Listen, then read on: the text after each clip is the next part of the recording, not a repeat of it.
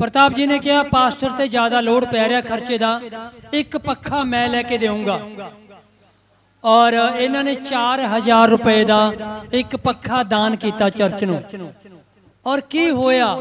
8 ਮਹੀਨਿਆਂ ਤੋਂ ਇਹਨਾਂ ਦੀ ਕੰਪਨੀ ਵੱਲੋਂ ਜਿਹੜਾ ਇਹਨਾਂ ਨੂੰ ਬੋਨਸ ਨਹੀਂ ਮਿਲ ਰਿਹਾ ਸੀ, ਉਹ ਪਿਛਲੇ ਹਫ਼ਤੇ ਉਹ ਬੋਨਸ ਬਣ ਗਿਆ। 5000 ਰੁਪਇਆ ਕੰਪਨੀ ਨੇ ਬੋਨਸ ਦਿੱਤਾ।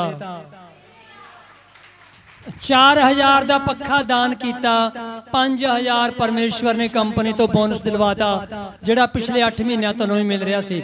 ਪ੍ਰਭੂ ਦਾ ਬਹੁਤ ਬਹੁਤ ਧੰਨਵਾਦ। Thank you Jesus amen